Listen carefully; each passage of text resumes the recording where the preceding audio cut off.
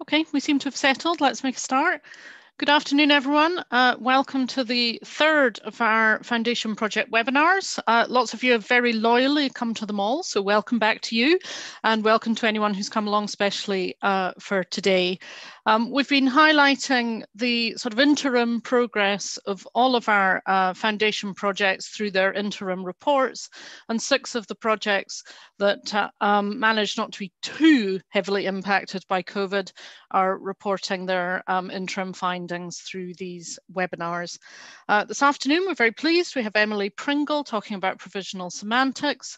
Emily's from Tate, and we have Pip Willcox from the National Archives um, talking about her engaging crowds project. Um, we have some colleagues uh, following us on the live stream, so hello to you if you're out there on YouTube. Um, and for everyone else, it's great to have you. Um, while the presentations are going on, normal format, turn your camera off, you'll automatically be muted. If you want to ask questions, uh, we're going to do that after both presentations. You can put things in the chat as you go along, just in case you forget them later, um, or you can just stick a Q in the chat when we come to the question section and we'll call upon you to um, stick your camera on and ask your question yourself. If anyone's having connection difficulties, feel free to um, just type your uh, question into the chat box. Um, looking to any of my team on the screen, have I covered everything, Carlotta?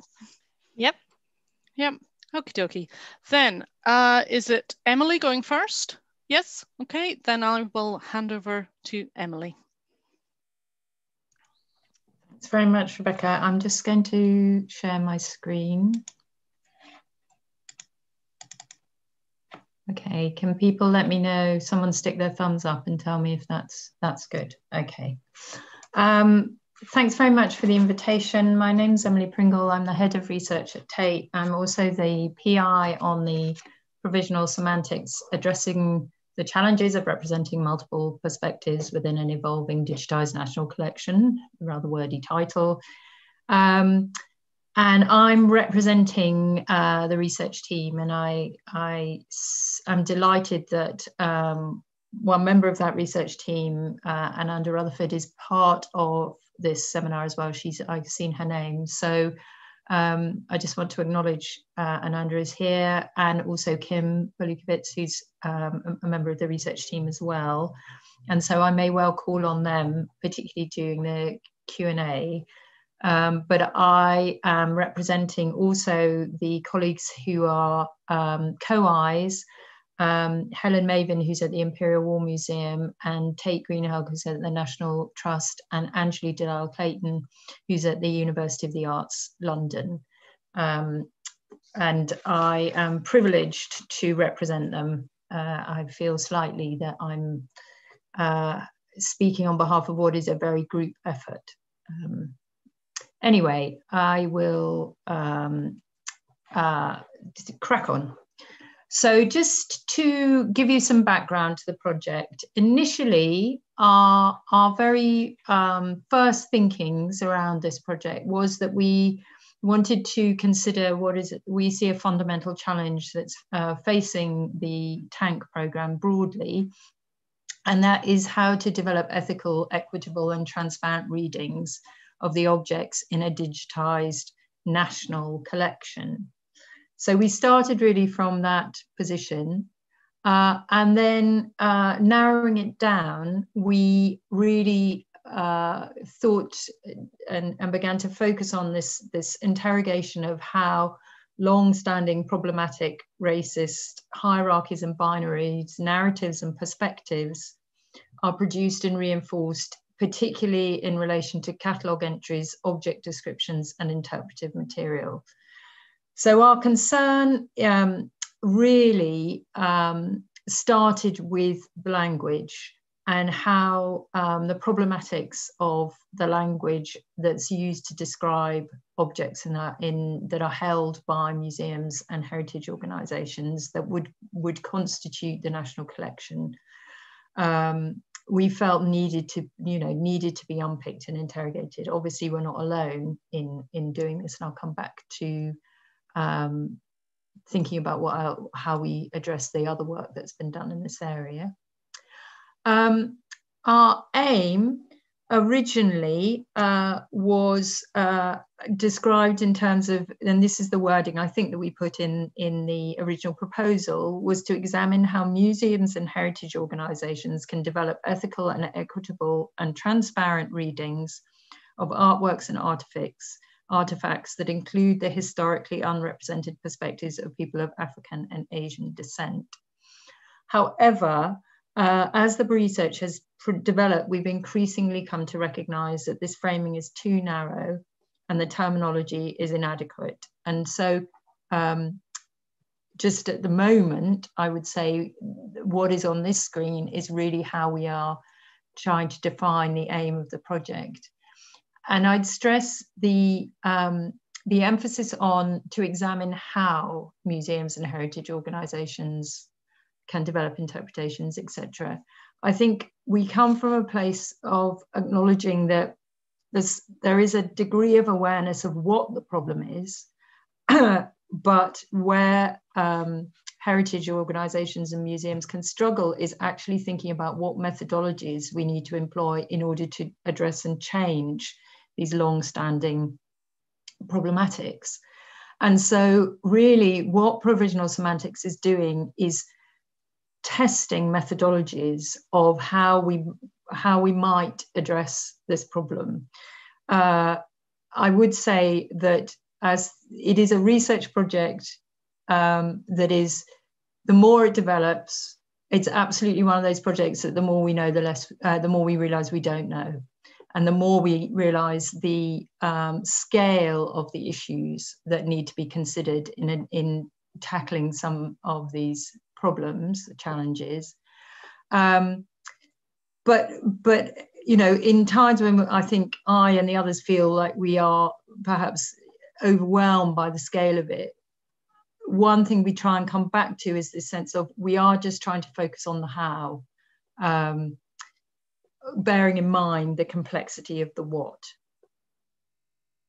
Um, so the methodology that we are adopting is um, what we've what we're calling a practice-based action research approach and um, in part that's because the researchers myself included are practitioners um, rather than kind of academics in a sense uh, although you know that's not to say that our work isn't highly theorized and profoundly thought through but we are situated in sites of practice in museums and um, heritage organizations, um, except for Anjali, uh, who is based obviously in the university. But I think it's important that, again, this comes back to the question of the how, that we are really looking at um, our own practices uh, in relation to the institutions where we work and the practices of our colleagues. Uh, and we're doing this through looking at three case studies, which I'll come on to in a minute, and looking at, um, at these three overarching and interconnected themes, which I would like to uh, really credit Ananda with, but I'll, I'll speak briefly to what they are. So this one of the themes is content, which is very much concerns how material is described, what is privileged and what is erased. Uh, knowledge production, which is exploring um, themes around co-production, intangible heritage, and the ethics of whose knowledge is heard, and particularly thinking about issues, for example, like intellectual property rights. And then thirdly, practice as one of the overarching themes. And this really addresses how organizations uh, control and organize knowledge, data, and information, both through their existing systems so looking, for example, at the limitations of structured data and the perpetuation of particular ontologies through, for example, cataloging practices. And those are being will uh, are being explored through. Um, there will be some events coming up and also papers written. Uh, and Andrew is involved in develop uh, in a in a deep dive landscape review document. So really looking at kind of what, what has been done to date and bringing it together. And then Anjali is leading on um, a, some, a, a, with colleagues a close analysis of particular collection items. So just to speak briefly to the three case studies. So the first is the National Trust Clive collection at Powis Castle. And this is, um, uh, all the case studies are proving to be absolutely fascinating, but perhaps the National Trust case study is the one where it could not, this project could not be more relevant. And in fact, our, the focus of the case study has shifted. And rather than developing a kind of bespoke intervention, what we're doing is really focusing on the what the National Trust are calling their reacted, reactive rapid response approach um, to addressing uh, in uh, issues uh, around, for example, the legacies of slavery that they have been adopting from June 2020 onwards when the um, National Trust building started to reopen after the first lockdown. And really, what we are looking at and reviewing, and Tate Greenhalgh is leading, leading on this, is what happens through particular actions that include work they've done already, for example, around the reinterpretation of paintings, the drafting of labels for collection items, and uh, the, the, drafting of, a, of different language guides. And um, they are working, um, Tate is working very closely with, with um, both her curatorial colleagues, but also bringing in externals and uh, individuals from across the National Trust to just test different ways of rethinking particular items in the Clive collection. The next case study is based at the Imperial War Museums, and this is really looking at a collection of, of um, photographs um, that were taken by the war, uh, Second World War British official for photographs, and they were catalogued in the 1940s uh, in ways that I think now acknowledge are, are deeply problematic, uh, and uh, are also in ways that that do not contextualize a collection to the public and explore any of the colonial dynamics that are present in the in the representations. And this case study is examining what happens when different stakeholders are involved in the reinterpretation of that material. So the case study is involving workshops with internal stakeholders, but also with subjects specialists who have expertise of World War II Indian recruits, and also with um, external stakeholders who have um, uh, different forms of expertise.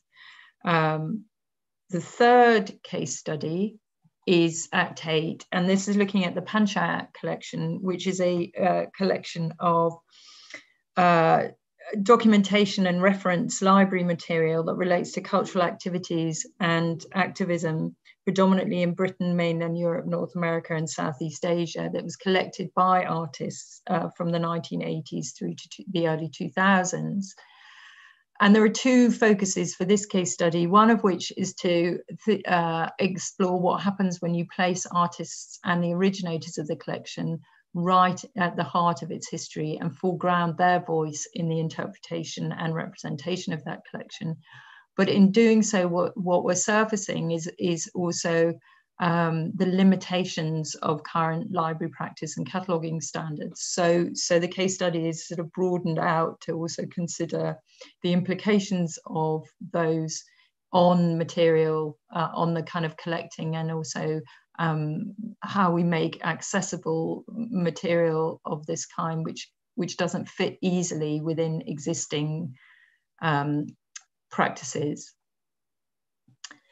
Um, one thing that that has become incredibly uh, apparent uh, and will prove to be, I think, one of the most significant findings of the project is uh, a recognition that came early to the research team uh, that we are a majority white team with no black researchers and that this is problematic.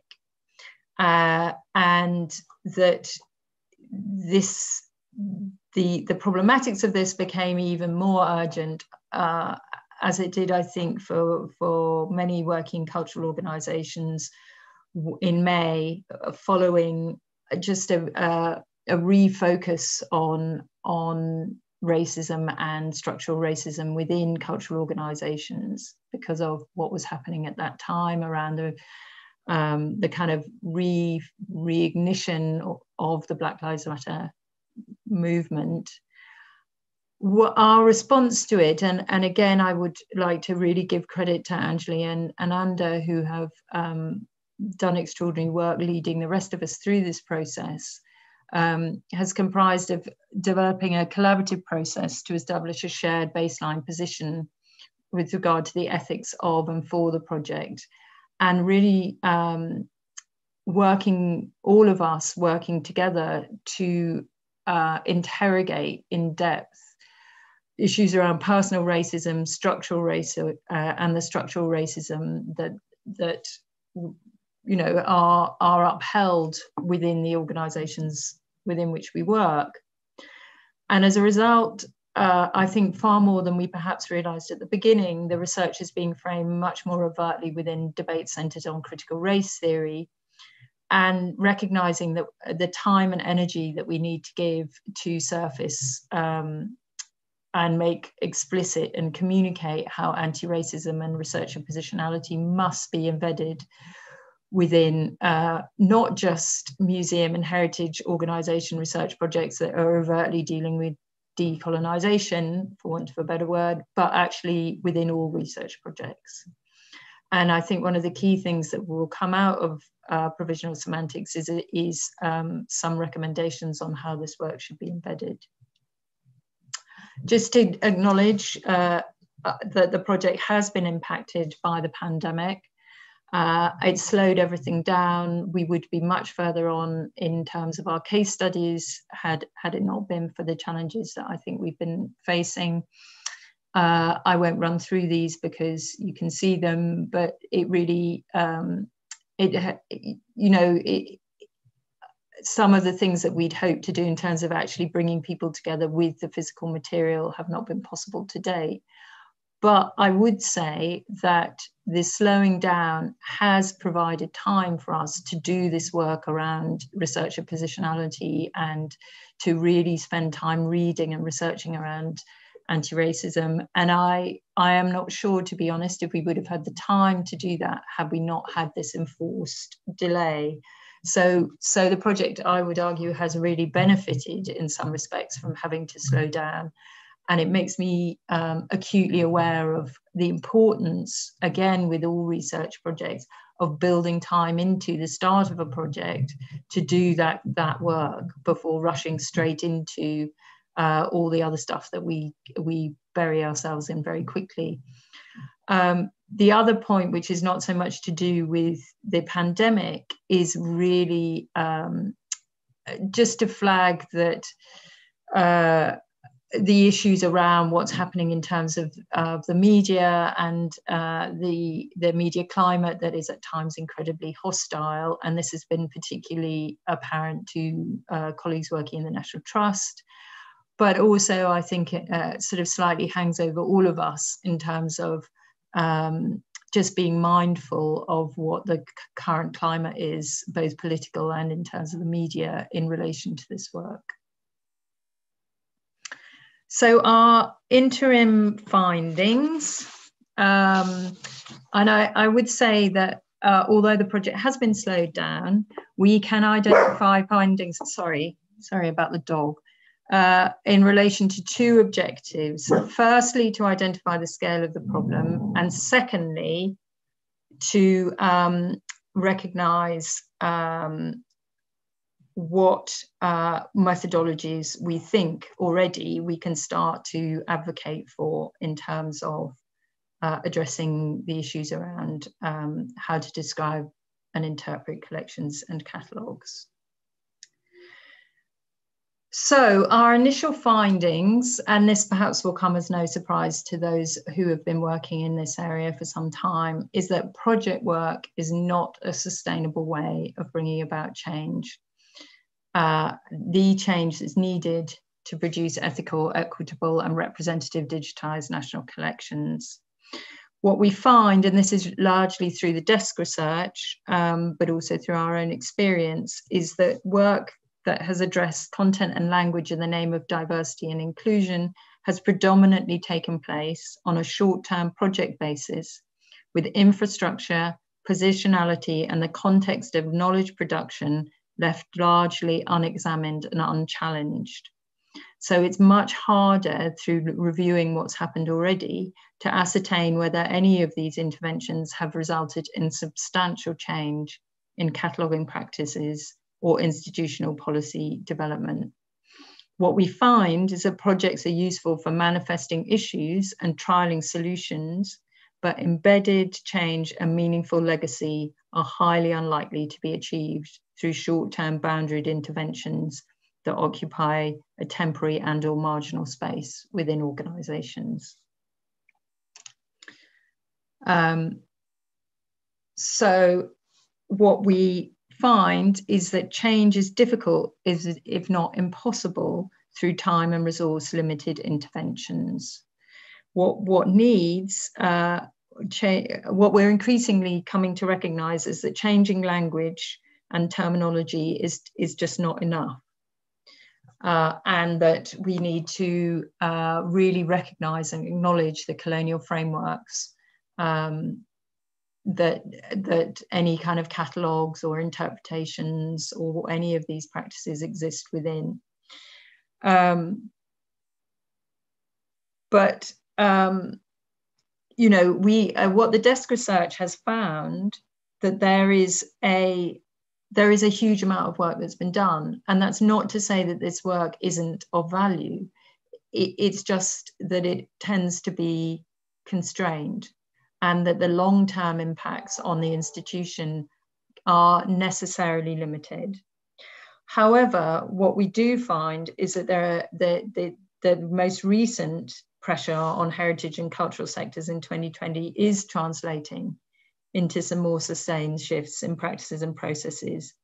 And one issue that the project is likely to address is how the uh, energy and commitment being exhibited can translate and, and what that looks like in terms of, of, of more deep rooted institutional change. Um, one other finding that we have is that there is a uh, urgent need for more resources and detailed practice guidelines to be provided at a national and sector level. So we welcome the um, resources that have recently been produced by the Museums and Library and Archives Association, the MLA, uh, but there is a need for more and a need for sector-wide leadership on this issue. Um, and I think one of our other key findings, and this has really come through that positioning work, is that, uh, and I've touched on this already, establishing an agreed ethical position and set of values is crucial when setting out on any project within museums, uh, but especially those addressing a decolonizing agenda. I mean, what we have found, and I think it's probably true for most projects, is that even within a research team that has the same objectives, it cannot be assumed that everyone shares the same experience and perspectives regarding decolonization and anti-racism. And it's vital that understandings are defined and agreed and concepts, not least because concepts of colonization, decolonization, and post-colonialism, post-colonialism, sorry about that, are, cont are contested. And also the differences between structural racism, institutional racism, and personal prejudice and privilege need to be explored within an environment of trust and care explicit and active anti-racism needs to be the baseline you know for any research project particularly those addressing decolonization. Furthermore um, again that what we would argue for really strongly is that sensitive decolonization work requires ongoing critical reflection individually and through discussion with others with all terms, frames of reference, opinions, and traditional behaviors and expectations subject to examination. And what we have uh, acknowledged between ourselves is that um, an approach centered on self reflexivity is not necessarily something that busy practitioners are familiar and or comfortable undertaking. And it requires support and training. And, and I'd stress again that this work requires continuous attention and application uh, not least because, uh, as those of us working in museums know, the demands of the job in term in you know anyone working in an organisation, particularly at the moment, coupled with the quite often a return to delivery focused practices, a default back to delivery focused practices, can really derail the necessary critical reflection that's required to undertake decolonising work of this kind genuinely and ethically. So time and commitment are absolutely essential if this is if this practice is to be done authentically. Uh, and um, something that we have found again, I think all of us on the research team, uh, of to be of huge value and actually uh, more than that to be absolutely essential, is the importance and drawing on um, practical resources and reading uh, and that that a practice-based action research approach relies on having the time to do the necessary reading and reflection around. However, what we have found is that not all the material we need is available to museum and heritage colleagues because texts are often paywalled in academic journals that are not accessible to those who don't have a, a university or IRO sponsored access. So again, this sort of speaks to the need for freely available resources. So just to uh, finish up, just to let you know what we're doing next. So um, we're working in relation to each of the case studies. I think we've identified who our critical friends and subject specialists are for each case study uh, and setting up the, the workshops and meetings with those. Um, we will continue with the anti-racism and researcher positionality work right through the project. And we are, uh, Ananda in particular, is refining the research relating to the three overarching strands. And uh, just stress that we will continue to, to explore the potential, whether within the TaNC program or elsewhere, for a centralized resource um, what we've done in thus far is in the provisional semantics interim report, which is on the TaNC website, we have listed all the texts that we've read and all the uh, events that we've attended with links uh, wherever possible. So in a way, trying to start um, to share some of the resources that, that we've gathered um, with a view to thinking about what how those might inform a centralized resource. I think that's me done. Thank you very much, Emily. Given everyone a huge amount to think about, uh, we'd be delighted if any of your um, research team want to chip in on the questions later, absolutely. Um, okay, we will move on to our second presentation. Um, Pip, over to you. Thanks very much, Rebecca. Could you give me a nod or a thumbs up if you can see the screen? Oh, thanks, Emily. Thanks so much. Thank you, Rebecca, Colin, um, all the team for organising this, and thanks to everyone for coming today too. I've really enjoyed how our foundation projects are um, finding out how they're going over these these um, webinars. So thank you very much for all of them. And I'm delighted to be sharing our progress on the Engaging Crowds project with you today and let you know where we're headed next.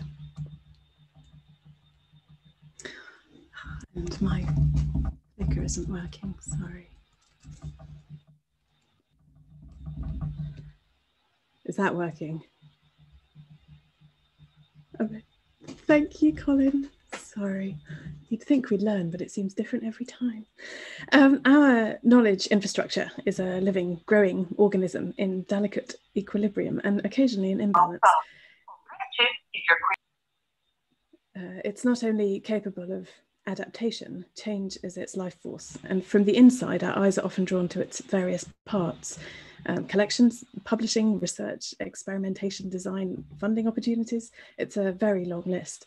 But once we step outside and look at it in its entirety, perhaps the most notable thing is the people, the researchers, the scholars, scientists, curators, librarians, archivists, technicians, research software engineers, experts of, of all stripes, many more than, than these, um, and the many audiences that um, for the work that they do.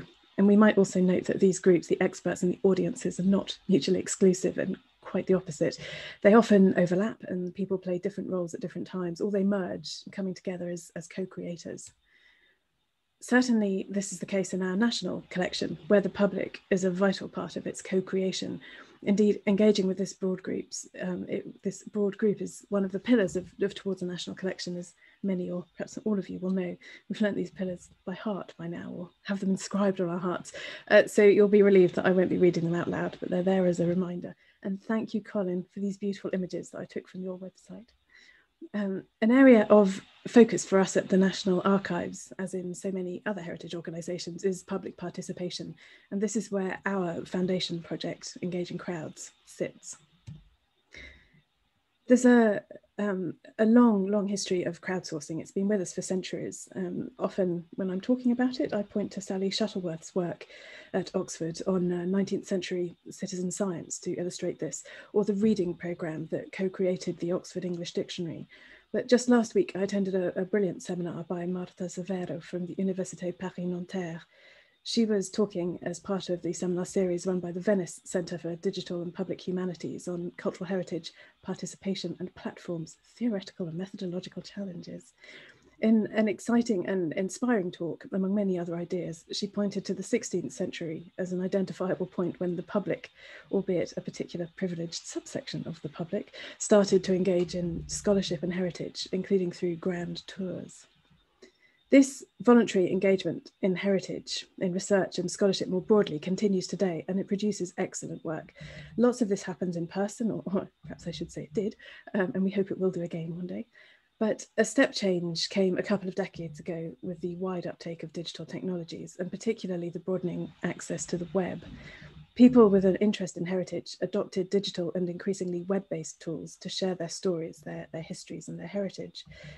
This extensive online engagement has enabled people to gather and record collections in a form of citizen heritage that has created a truly democratic and vast reservoir of new knowledge about the past. We were just hearing from Emily about the brilliant and important work of the Provisional Semantics Project, bringing multiple perspectives to bear on our national collection and ensuring that it includes voices that have traditionally been missing, ignored or, suppressed. At the National Archives, our collections are the record of government, and an important part of our work provides additional context for them, focusing on individual or collective lives and stories within those records. And accessible digital technologies provide um, a raft of means for making these links and surfacing these voices. Part of Marta Severo's research looks at where in the digital world people choose to gather and share their histories, their voluntary work that creates, analyses or annotates collections and their responses to these. Severo demonstrated that these encounters often happen where people are, predominantly on social media.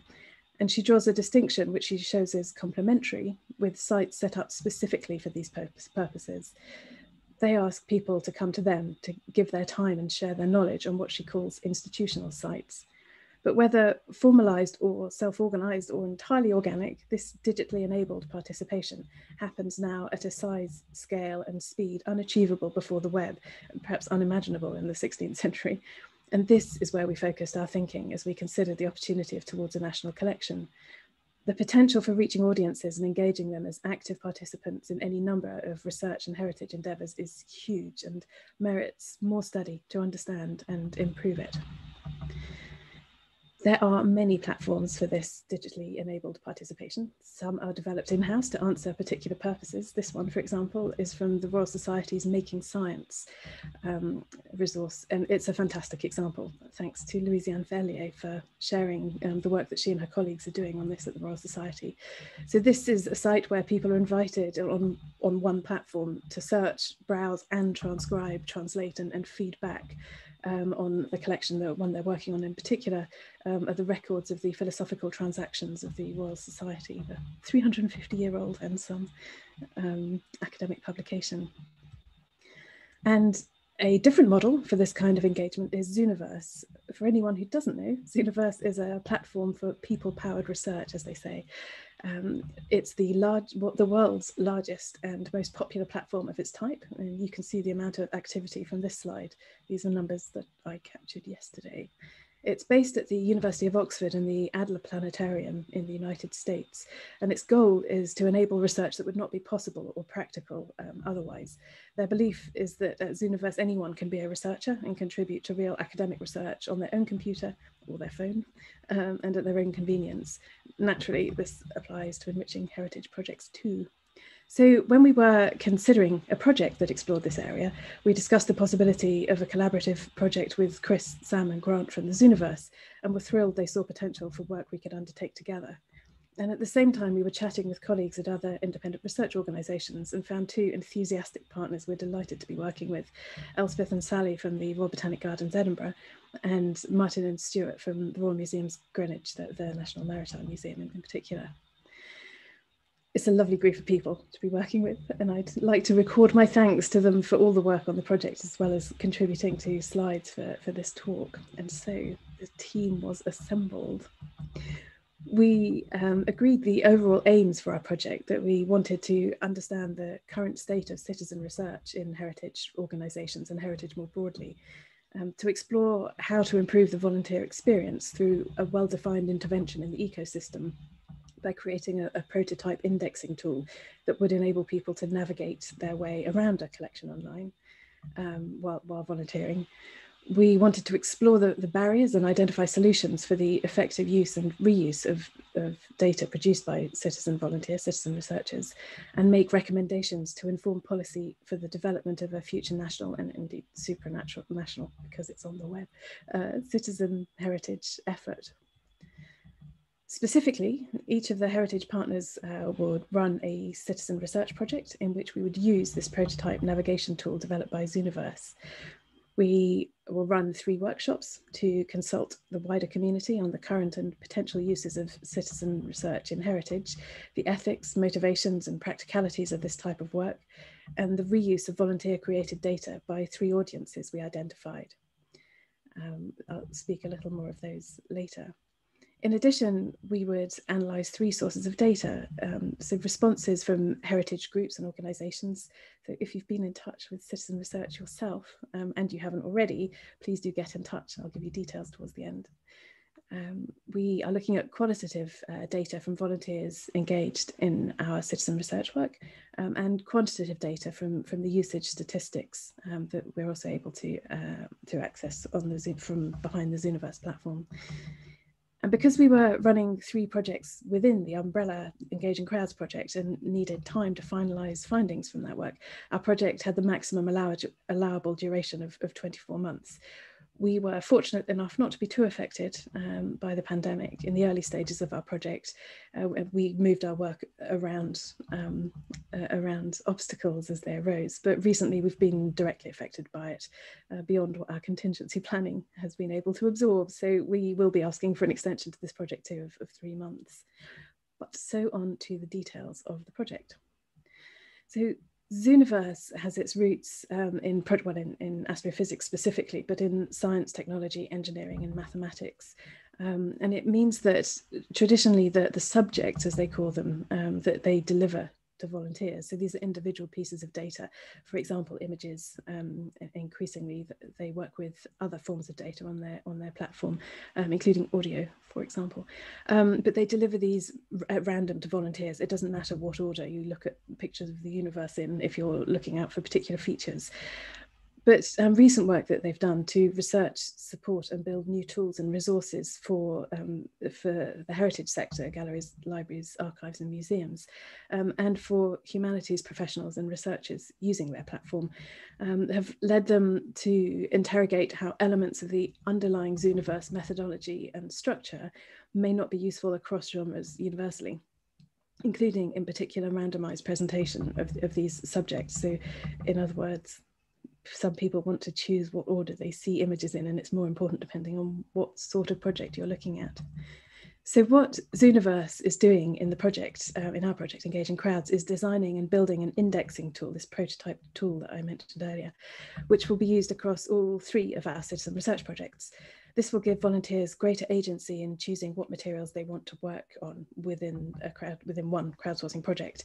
It's based on available metadata provided by um, by each of our organisations, um, and, to enable that navigation we can envisage a time when it might be available across projects on Zooniverse um, or the, perhaps even beyond, but that, um, that sort of function is well beyond the scope of our project and its prototyping tool. The tool itself will be, um, once it's uh, ready up and running, will be freely available for anyone to use um, through the Zooniverse Project Builder tool, uh, which is a free resource for anyone to make a citizen research project of their own. Um, and the code is on GitHub. Our Zooniverse colleagues are also working with our citizen research project teams individually to help guide us through the process of building an effective crowdsourcing project with the goal of um, the right tool choice um, to produce useful and high quality results for researchers um, and a positive experience for volunteers that uses their time efficiently and, and gives the collection holding organizations data that's useful to them.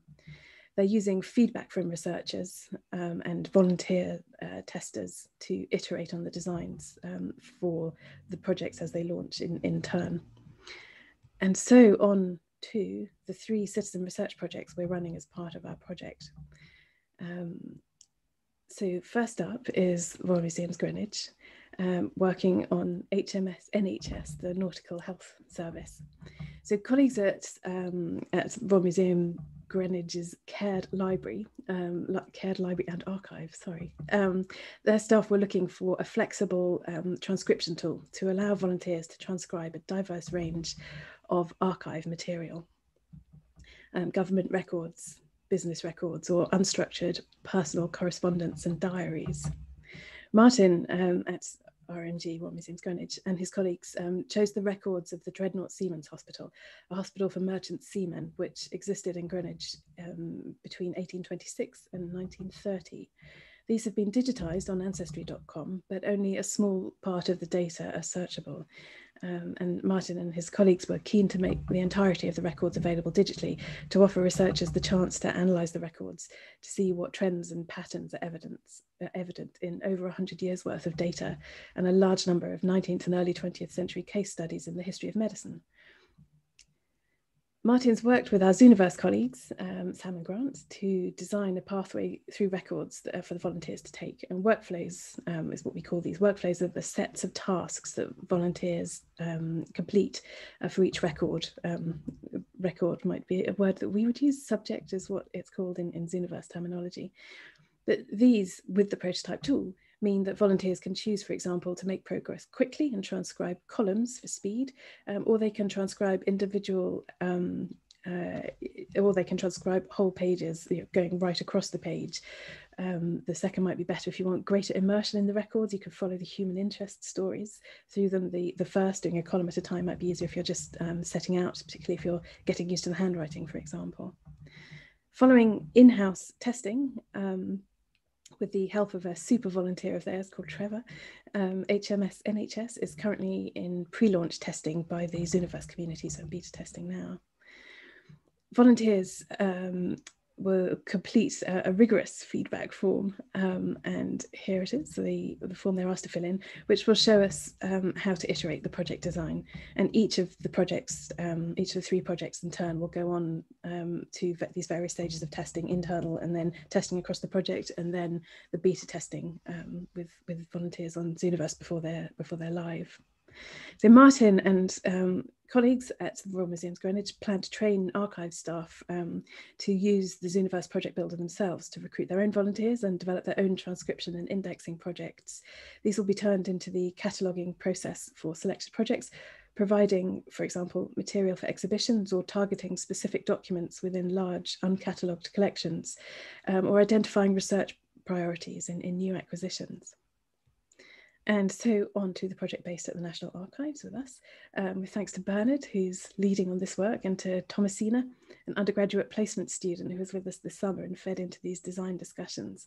Will Butler is our um, record specialist who's um, also putting lots of work into this, um, including uh, giving us something that he calls Will's history lesson so that we're all up to speed on, on these particular records. The rest of us are not expert in these, but it was identified as a, um, a really rich area um, that's uh, to, to explore.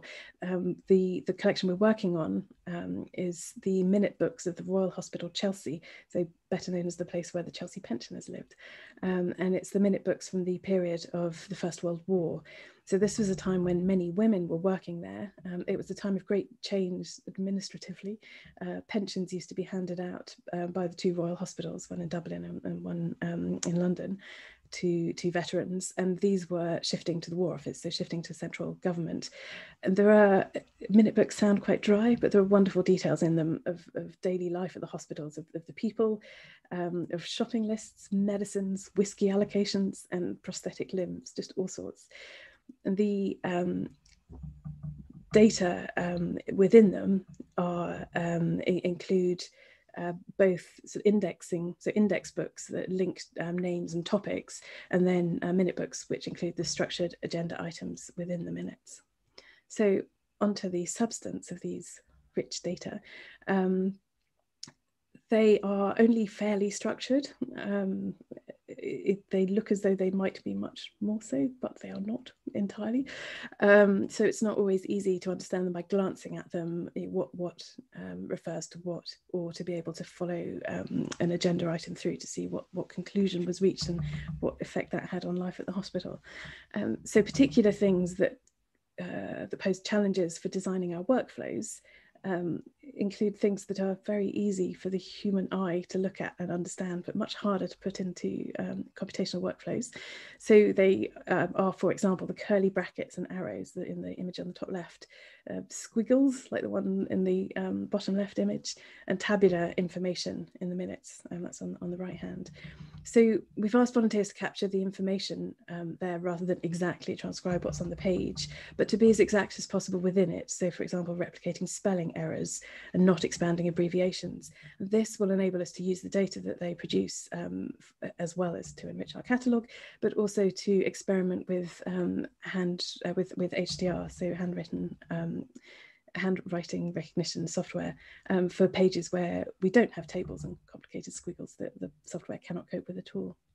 We've got three workflows, one for the index pages, one for the minutes pages, and one for underlining. And this will um, help us enormously when we come to test it against um, training uh, automated handwriting recognition we are entering beta soon, which will give us some initial insight um, into the workflows and allow us to make a final decision about whether to include the underlining workflow in the final project or if that's just a faff that volunteers are not, not interested in doing and don't feel it's a good use of their time.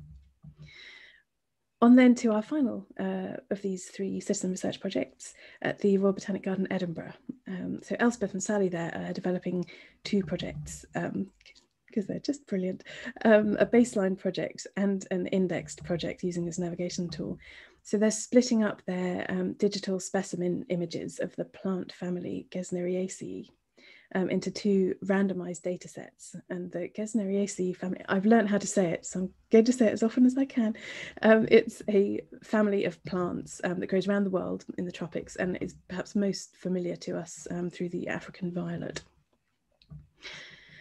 So these specimens are minimally um, databased and, and imaged um, at, at the Royal Botanic Garden, Edinburgh volunteers are invited to transcribe the specimen label data um, in order to make the digital specimens research ready uh, for the, the international community that, that works with or wants to work with them. It facilitates research into global biodiversity by releasing this data that's held in 300 years worth of plant specimens and, and the handwritten records about them. Um, Elspeth and Sally are currently finalising the baseline project, building on the experience um, that they have already with and they have institutionally with other crowdsourcing projects. Um, they will be using drop-down menus as part of their workflow, um, using controlled vocabularies for volunteers to pick from. It can, um, it's a different experience for volunteers of picking from drop-down menus as opposed to transcribing. It definitely increases the accuracy of data as universities have good, good um, evidence for that. It may be, some people may enjoy it less. Um, it also means it's much easier to do, for example, on a, on a bus on your phone or, or tablet um, rather than perhaps wanting a keyboard for, um, for, for some of the other types, for example, longhand transcription. Um, they're also incorporating current work on international digitisation standards for natural science collections, such as the minimum information about a digital specimen. That's their MIDS, M-I-D-S um, uh, standard. And in their second project, this is the indexed one using the navigation tool, um, they plan to facilitate a wide range of indexing options using the information from processing their um, digital specimen images through optical character recognition software. So this is OCR that I think many of us are, are familiar with. Um, this already forms part of their standard digitization work um, and its data will be used to provide categories of specimens for, uh, for volunteers to select. They've carried out um, data entry tests comparing the time taken to enter data um, from random as against pre-sorted specimen records and found that the most efficient workflow was the one that was based on partial data entry, so working with specimens which had already been filtered by collector and country. As with all three uh, citizen research projects, we're looking to develop best practices um, for using citizen research projects to promote the existence of um, and access to collections, methods of quality control and, anal and analysis of the resulting data um, to ensure that the results can be used and reused effectively. That bit comes from our uh, application for the project. Um, and this is from respect, as we said earlier, as I said earlier, for the um, for the time that our volunteers are generously donating to us um, to make best use of that time and also ensure that the data that they produce is, is useful um, to the collections holding organisations as well, to, um, to the three IROs. Sorry, I flipped slide too early there. Um, so our Zooniverse colleagues have also, of course, been very busy. They have consulted with all three uh, project teams to understand the individual project goals. Um, they've created designs and user stories for the indexing tool um, and built underlying technical infrastructure to support it. Um, they've already worked um, to get uh, Martin's project, HMS NHS, um, at Royal Museums Greenwich to its beta testing. Um, and uh, this, for them, this navigation tool will allow people to choose, volunteers to choose um, either a workflow type or a subject, so a particular image um, that they want to work on a particular page. They are finishing up development work on the infrastructure, uh, which will allow for individual subject selection um, and which will be used in the next two projects. So this includes the ability to choose which, which page of which record to work on. So for example, you could jump between um, index books in, in the National Archives project um, and the um, uh, and, and the minutes that are described within the uh, that keep the, the details um, of, of the meetings that they were held and decisions that, that were made. Um, and uh, creating uh, Zooniverse are also creating a data infrastructure that allows certain metadata fields to be included in the individual subject so that the navigation tool will, will work.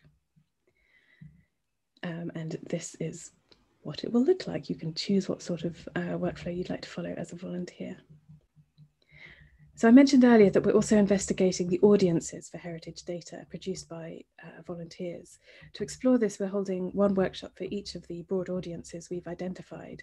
So the machines themselves, um, people working alongside automation, um, and we're moving to a point where machines will check people's work as, as well as people checking machines um, work, for example, as in the um, the Royal Botanic Garden Edinburgh project where uh, people will be um, using OCR data and checking it um, as part of that. Uh, we held that um, shortly before the formal start of the of the project, uh, which was slightly the start was slightly delayed, um, which is why we got our workshop in first. Uh, then a year later, we held um, first one was in person as well. Do you remember that? December 2019. I, um, time seems quite distant now. Uh, the second workshop was held this December, hosted um, in Edinburgh, but uh, virtual, of course.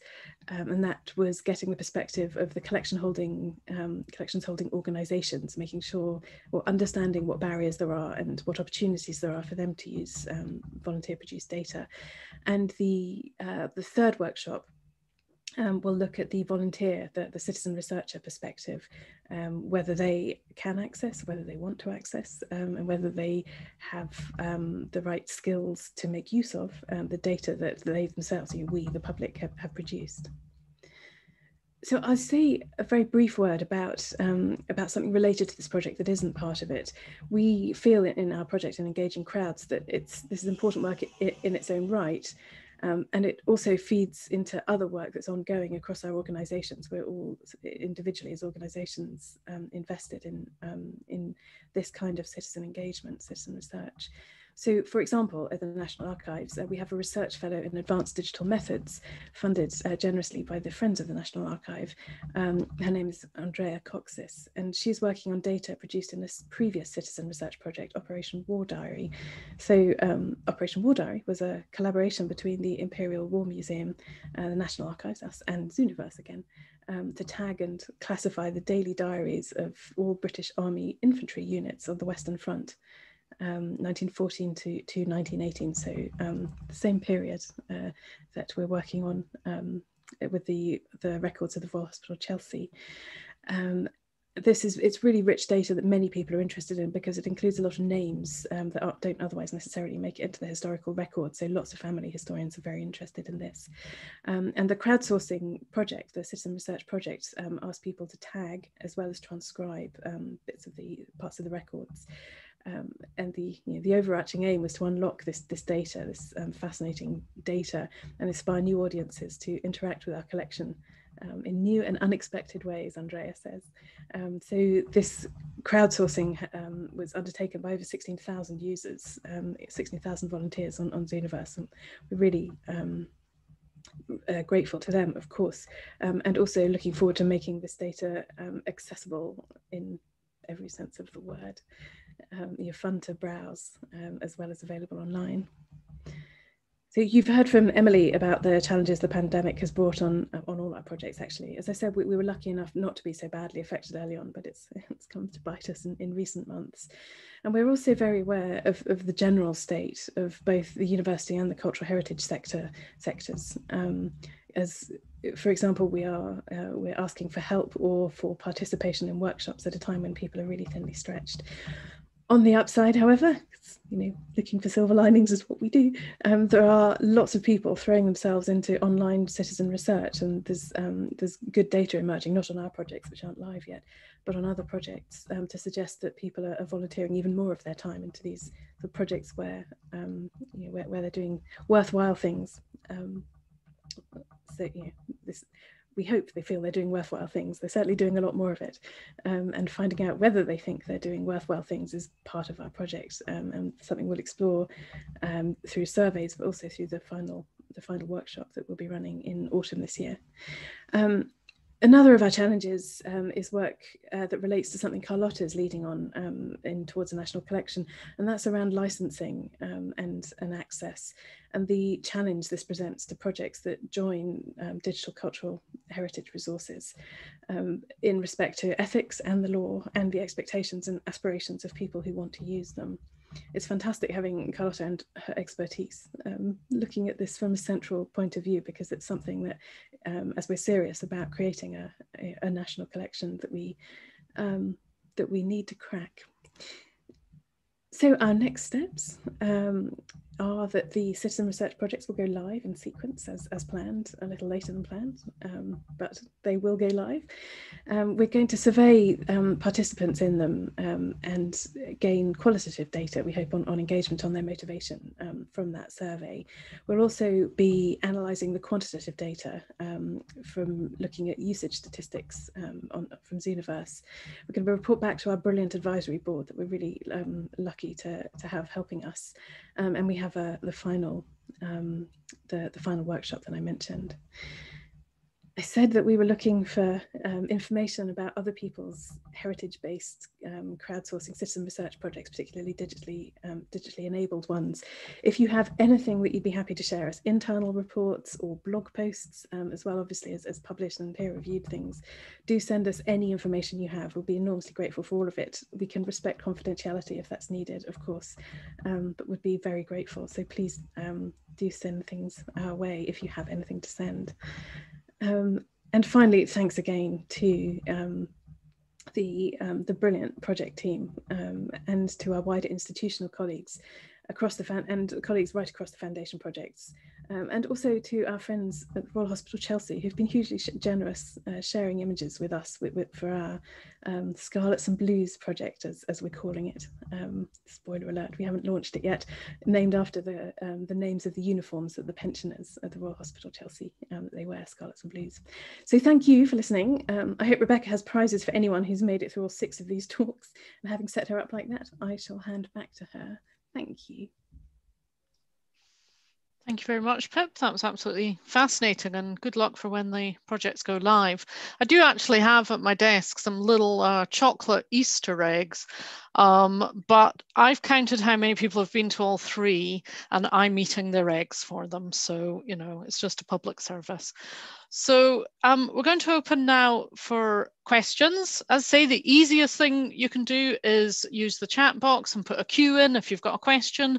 If you want to make a more general comment, feel free to put a C in, but just indicate that you want to speak and um, we will call upon you. Um, let me just make sure I can see the chat box, that would help. Oh, we have a, an enigmatic person first, SVO. Please declare yourself.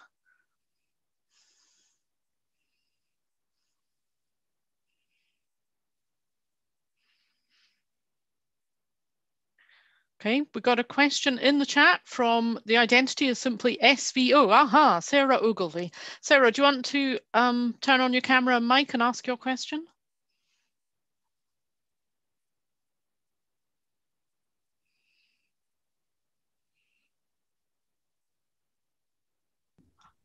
Are you with us, Sarah? I am. I am. Can you hear me? I can. You're hiding behind my chat box, but there we go. Please go ahead. Hello, everyone. Um, thank you so much, Emily and uh, Pip. That, they were terrific talks. Pip, I wondered if you could give us a sense of the size of, of each of those projects. Um, like how many records or sub subjects will there be for people to um, engage with and try and help with the tasks. Thank you. Hi, Sarah. It's lovely to see you. Um, I really should know that, shouldn't I? I can tell you for the National Archives one, and I can't remember for the other two. I could find out and get back to you. Um, it's a, a small um, data set that we have deliberately chosen for the for the National Archives. Um, so it's um, about 550 odd um, images. We deliberately chose something that was quite small because um, uh, so that we could get so, so that we could complete it and it will be um, really useful. Uh, we, we are we are hopeful so one can't take volunteers um, generously donating their time for granted but we're hopeful that we'll be able to get it completed um, and then it can feed into our catalogue and hugely en enrich that part of it um, it's it is a small um, it, it's a small collection, but it's enormously rich in names, and it's particularly interesting to us um, at the National Archives, and we hope to other people as well, because um, as many of you will know, the 1921 census will be released in January uh, January 2022. Um, so we'll be able to trace the names uh, through that. So that's why we chose that that small um, small project. Uh, the Royal Museum's Greenwich collection is also not vast. Um, I think uh, certainly that was the conversation that we had that they're using a subset of those log books. Um, and uh, the Royal Botanic Garden Edinburgh have a much bigger collection that they're working with, and it's one of the reasons they're able to split their project in two. So we have a comparator um, with, within the project. I mean, the whole, all the projects are going to be compared to um, uh, to others on Zooniverse, but but they've got their comparator built in. Um, so sorry, I don't have the numbers uh, but I, I can find out for you. And I wonder whether, just looking at the chat, that this speaks also to the question that's come from Matthew Bridson. Um, I am hugely tempted to call on Ananda to uh, answer this, but actually, I noticed that there's a question below this, which is particularly around addressing the limitations of cataloguing, which I absolutely have to look to you, Ananda, to answer. So, shall I have a crack at answering this one? And then maybe you can move on to the other one. Um, I mean, I don't, I don't think uh, we have an easy uh, or a kind of neat answer to this. And I think what we are discovering is um, is we really need to try things out and in in the true spirit of action research kind of try things see whether things work or what the impact is on us and the project and then re, um, refine as we go but i think one of the most significant uh, interventions has been um, the mandatory ask uh, of each person in the research team to do a personal positioning statement. And this is something that, um, again, Ananda and Anjali very generously provided a, a, set of prompt questions for each one of us um, to, to write our own experiences and reflections on ourselves, our families, our experiences of racism, what we felt we brought to the project in terms of our professional experience, our personal experience. Um, and each one of us has written these statements and um, we have shared them amongst each other and had a discussion around them. And uh, alongside the writing of that has been um, mandatory reading and I think the mandatory is something that is really important. Uh, and I think this is where institutional um, leadership really is required. I mean, we are a small research team, so it's relatively easy, and we are all committed, uh, you know, deeply committed to this work.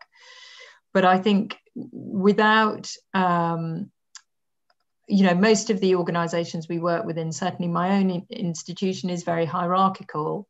Uh, so uh, what lead, what leadership models and manifests is is very significant in relation to this.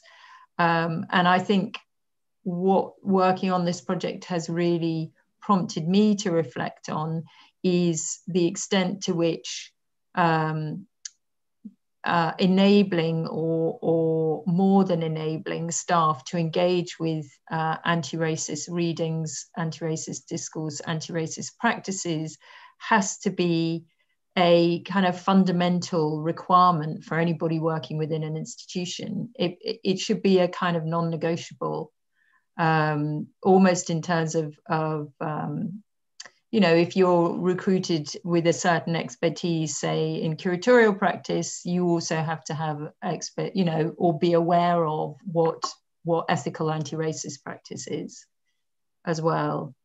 Um, and I know that's a big ask, but um, I think that's what this project has taught me. And did you want to add something?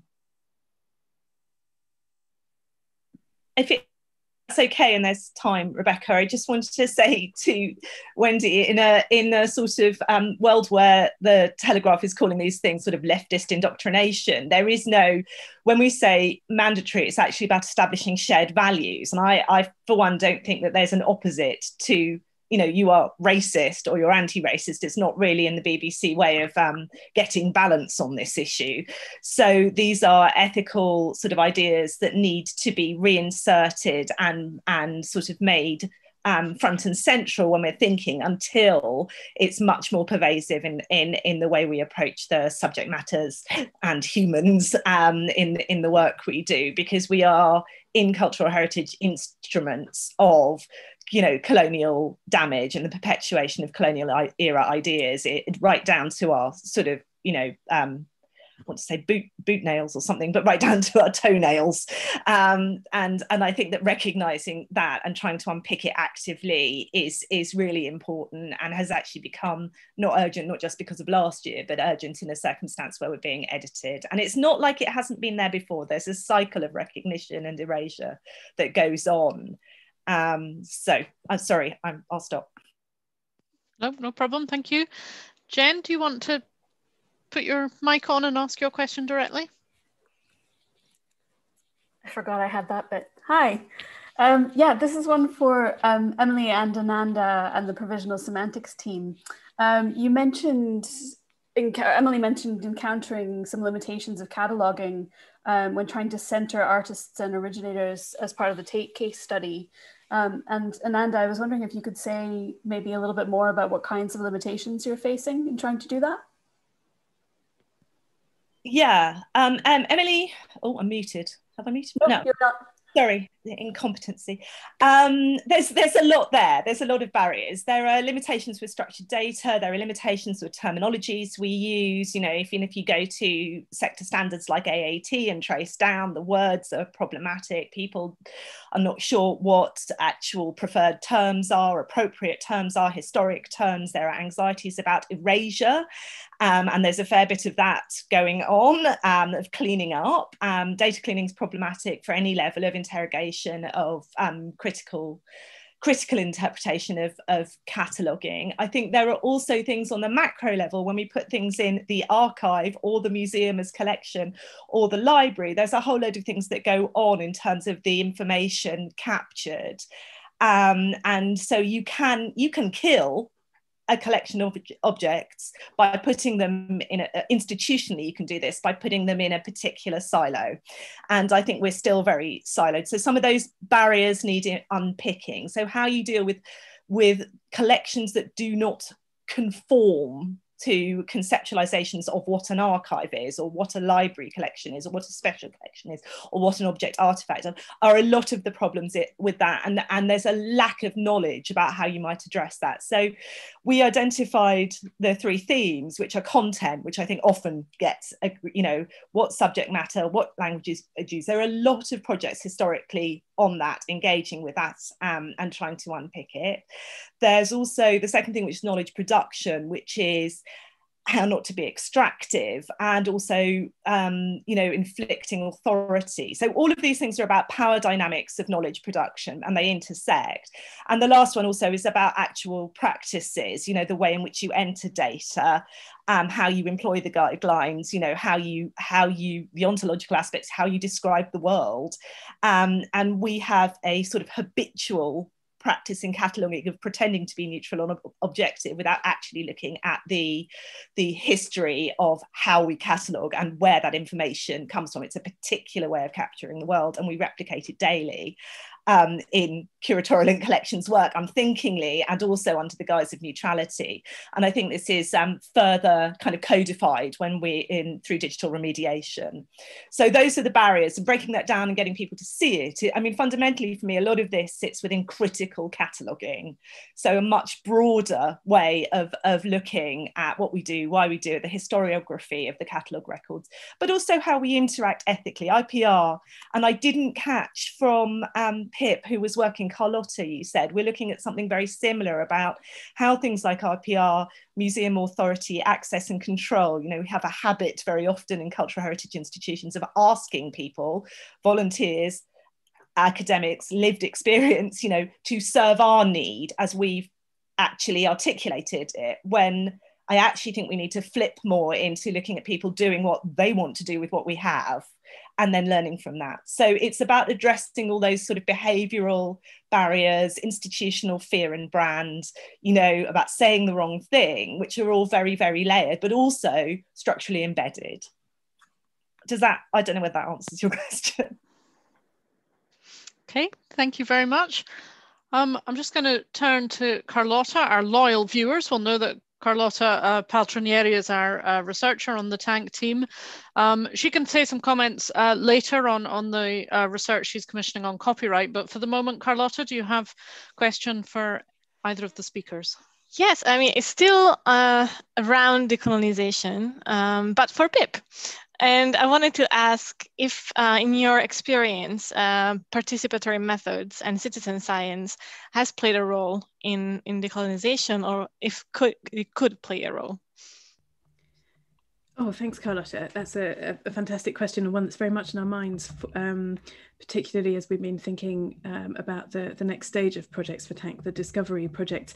Yes, absolutely, it, um, it, it, could and does um, in many cases when it comes to, um, I, I, think it's useful, um, the reason I touched on it um, earlier on, um, I think it might be useful to, to consider how the infrastructure enables that or disables it.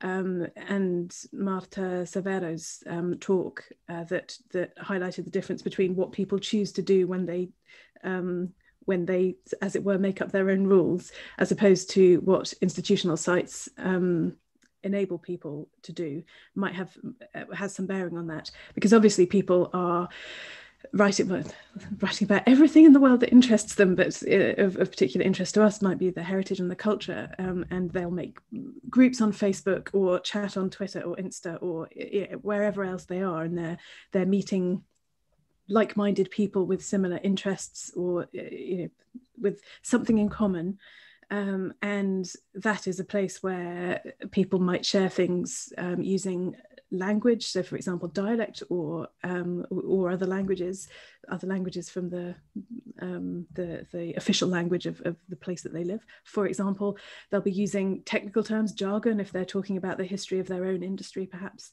Um, so there are places where people can talk in uh, ways that they, uh, in the ways they choose, the ways that are appropriate to them, um, and um, there are and then there are the institutions that we know well who have very structured catalogues that and Emily and Ananda and their colleagues can talk more to this than, than me, but the catalogues are the infrastructure that reflect the, the dominant mindset of the day. For example, at the National Archives, we have the record of government. So our records are um, are arranged by government department. It, you know, it, it couldn't be more top down than than that.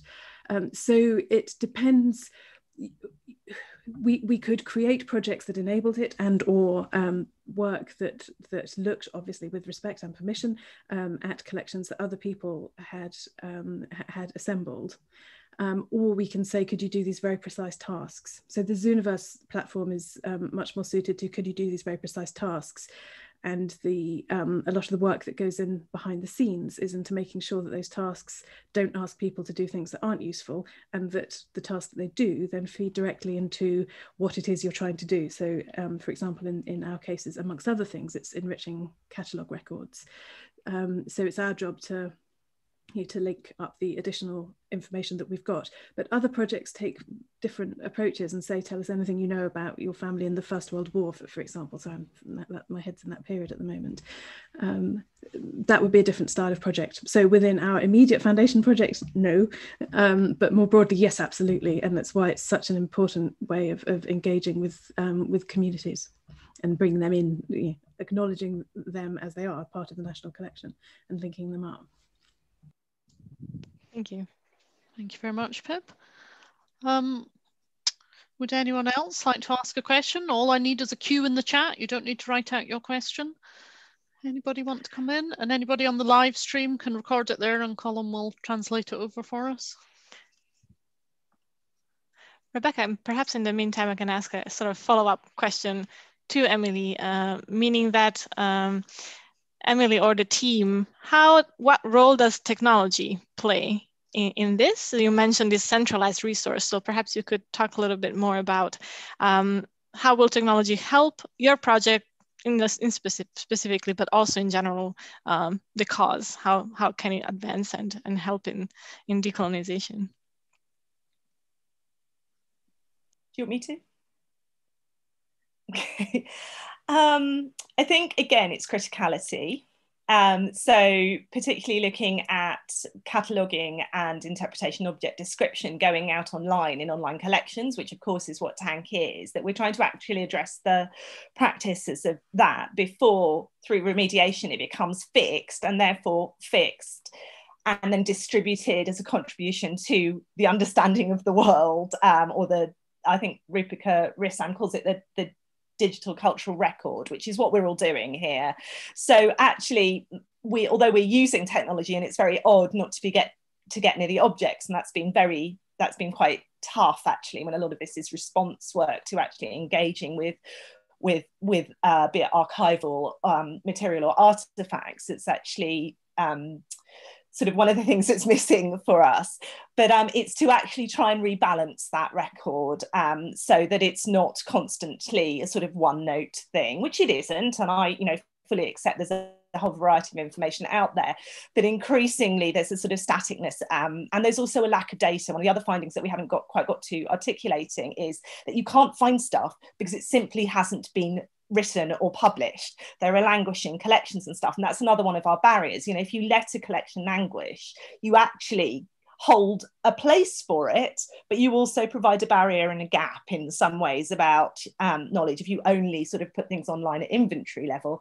So I think addressing things like, I mean, the rest of the projects are doing this connectivity and access, but I think one of the other things for us is actually to unpick with the knowledge production what access means as well. You know, is it truly accessible? Who is actually engaging with it?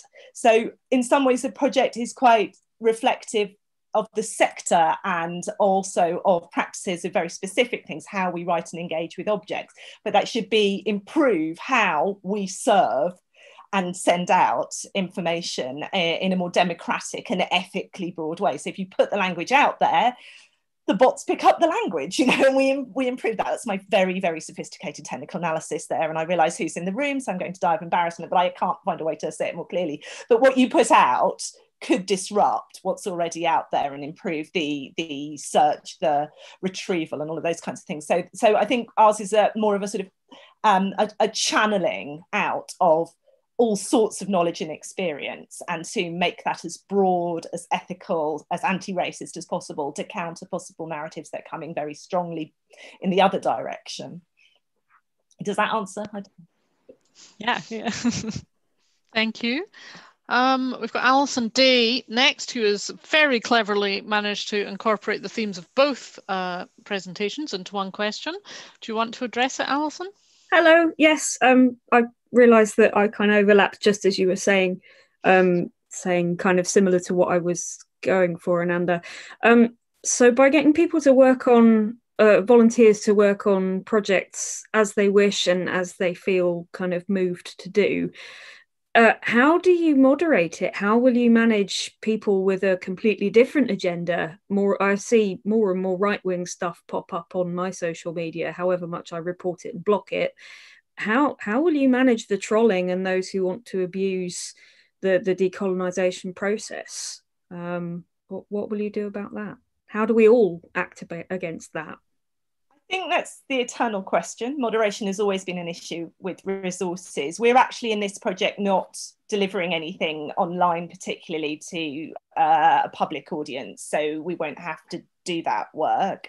I think there is a rebalancing of voices, though, that the more you say and you look out you know you contest contested and two sides of the story by actually putting information out there and also unpicking and revealing and making transparent the way we all behave in this you know, if you say truthfully what's going on, I think we can counter that. But yes, that is really, really a big deal and needs addressing. And I think um, there are some things going on where tagging and all sorts of things is actually disrupting that kind of work at the moment. You can see it happening and a sort of misappropriation, we might call it. But um, I think you can only you can only help through knowledge. So the more we put out there, the, the the more we can point towards the things that actually explain it.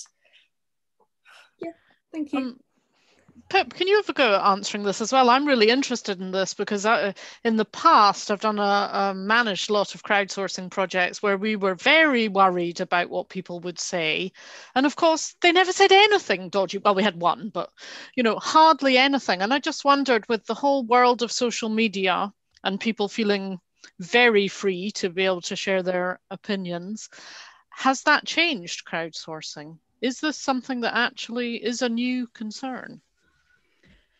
Uh, so I think Ananda and you both make excellent points. Um, it's, it's a really good question. I I w- I'm going to guess the answer because my experiences in projects and, and the projects that we've been looking at have been much more structured along the the Zooniverse is an example the, the, the Zooniverse platform, but there are many other platforms that do it. And the um, it, it's not that you couldn't make mischief um, for any reason, whether politically motivated or uh, because that's what you think is fun, um, or because you didn't understand at all what you were being asked to do and it's a mistake, but nonetheless, you've um, you know the the data that's produced is um, isn't perhaps as useful as the people who put the project together hoped for, but um, it happens vanishingly rarely on these structured projects. I think it would be a very it, it will be as people work more with um, with different sorts of uh, different with different sources for this data, it, it is it will be very different.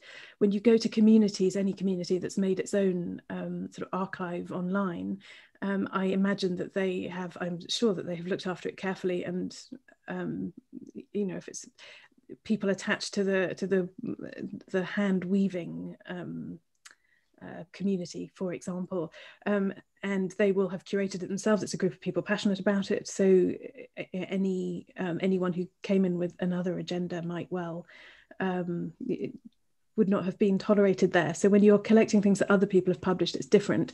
When you're actively using, for example, hashtags on Twitter, that's a different thing. It's not something I've looked at. It would be fascinating to hear what Marta Severo says. She wasn't looking at questions of decolonization um, the examples that she gave, sorry, as far as I know, um, uh, the examples that she gave were around um, records of the records of the First World War, because it seems we can't get away from them at the moment. Um, but for example, institutions in France, as I've understood it from her, this is nothing I know about at all, can't record circumstances of anybody's death. Um, however, lots of people want to know how and where people involved in warfare um, met their ends, um, and so they've they've deliberately the people running the project deliberately sort of seeded a hashtag on Twitter and asked people to transcribe things on Twitter, which they couldn't do on their institutional site, um, and asked for other contributions um, to it. So where people are using those mixed methods, those mixed mixed crowdsourcing media, um, it, I'm sure it will become more of a um, more of a focus. But currently, even in projects which um, might be seen to be more sensitive. So, for example, looking at records of people who were enslaved and um, and, and, sales records from markets and so on. And this is a project projects that are being done in the United States.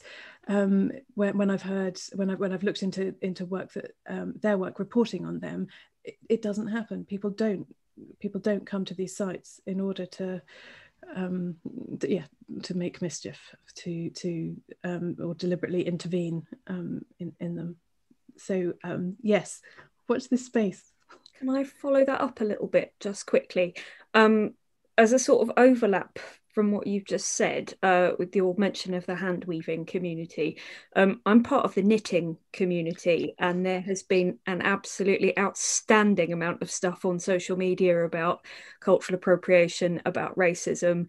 There's been an awful lot of trolling and name calling, and it was just insidious. It was there already because it's a, a bigger group, and we might be luckier that some of these echo chambers, for want of a better word, are smaller in the heritage sector, but something that becomes big and international, uh, there are people within that with agendas, and I, you know, that's what we're here to address.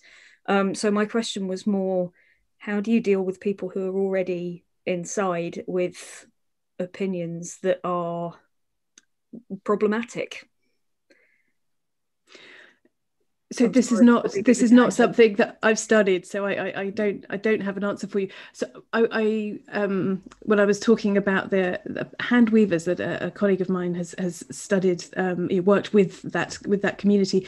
Um, they have their own digital resource, so then it's not it's not social media where anyone can pile into a conversation. They choose what to publish on it. So so I, it, I think we're not comparing like with like. Um, um, it, it, may well be that there are um, there are people who would want to intervene in those conversations in, in ways that you describe as problematic um, as well. So uh, it's it's it's not something that I have looked at yet. Okay, thank you.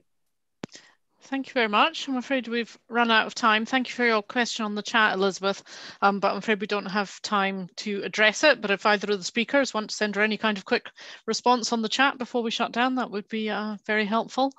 Um, so thank you so much everyone for uh, joining the seminar and joining the discussion. And particular thanks, of course, to, to all those who have made it through all three seminars and heard about six of our projects.